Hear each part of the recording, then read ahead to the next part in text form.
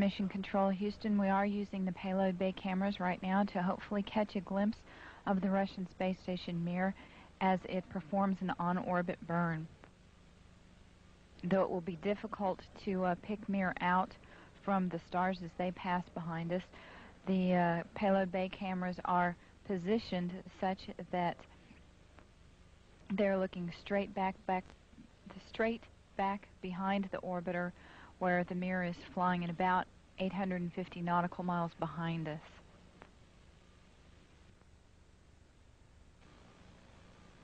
No joy from here. Sorry. Hope it was a good one, though, for our friends. Thank you, sir. We could not see it here either. We'll wait two or three more minutes till sunrise, and then uh, at that time give you a go for KU stow. We're at a mission lapse time of 7 days, 13 hours, and 17 minutes. This is Mission Control Houston.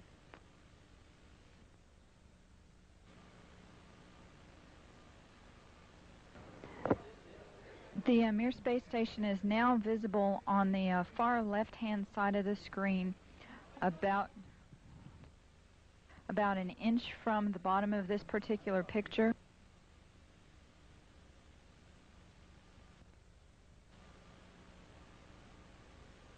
Okay, the Mir space station is the small flashing light in the center about an inch from Camera Charlie on a the uh, left-hand side of the screen. It's slowly,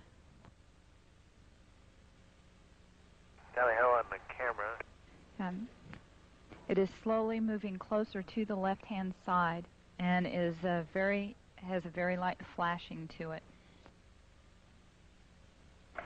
We think on the middle of the screen, way to the left-hand side.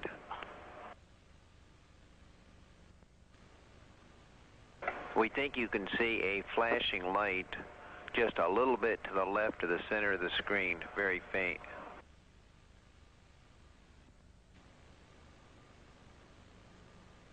Yeah, we do see something flashing visually, but we're not sure that that might be. Uh,